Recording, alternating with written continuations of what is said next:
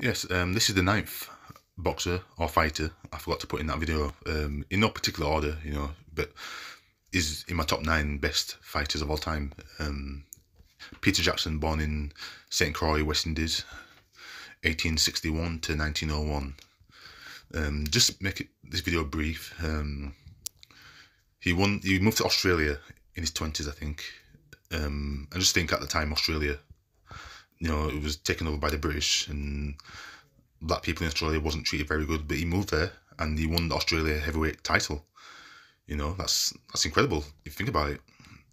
You know, a foreign black man moves to Australia and wins the Australia heavyweight title. that's pretty impressive. Then he moved to America and he fought a lot of bare knuckle fights but couldn't compete for the title which was held by John L. Sullivan, the first heavyweight champion of the world of modern boxing. Well, the last bare knuckle champion, the first of modern boxing, was John L. Sullivan. John L. John L. Sullivan refused to fight Peter Jackson because he was a black man, and he knew Peter Jackson was very, very good. So um, he wasn't prepared to put his title at risk and fight a black man and lose.